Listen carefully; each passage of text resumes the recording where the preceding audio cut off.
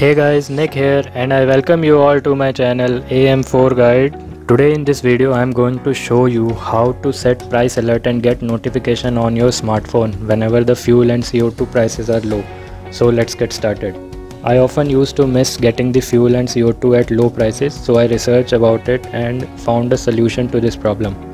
After that I never missed to purchase fuel and CO2 at very low prices. First of all you need to install Discord app in your smartphone. Now we need to join Airline Manager Discord group.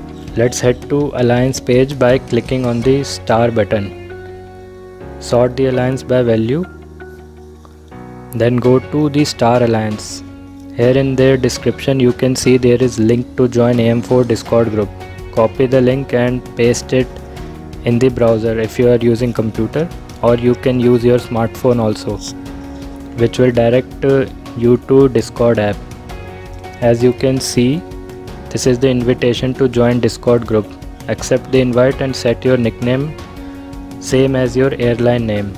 I already have joined this group as you can see. Now i'm going to show you how to set price alert and get notified here in this group there are many features. One of them is price alert feature. Go to the price alert feature and turn on the notification. As you can see while recording this video I got fuel price alert of $330. You can download mobile app for different platforms to receive notification on your mobile also. Let's verify that if the fuel price shown here is correct or not.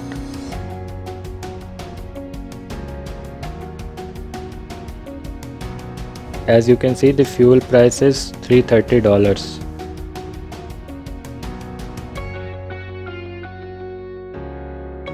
CO2 price was $104 as you can see there was a notification for CO2 price. So let's fill our fuel tanks as long as the prices are low. Happy managing. Hope you guys enjoyed this video. Thumbs if you liked it. Subs if you loved it that's been it. Catch you guys in the next one.